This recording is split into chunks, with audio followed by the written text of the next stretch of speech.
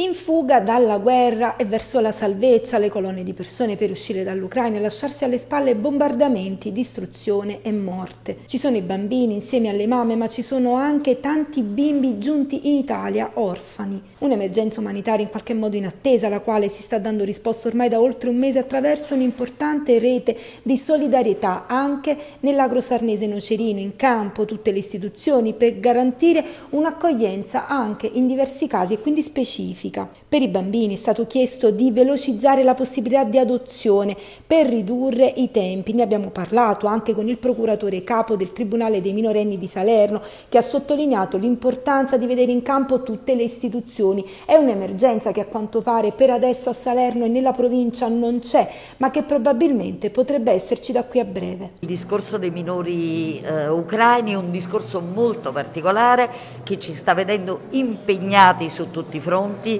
eh, sia me che il Presidente Avallone del Tribunale per i minorenni, eh, di concerto con la Prefettura e con tutte le altre istituzioni, dalla Questura, il, colonnello Trombetti dei Carabinieri sempre disponibile, la Guardia di Finanza, l'ANCI,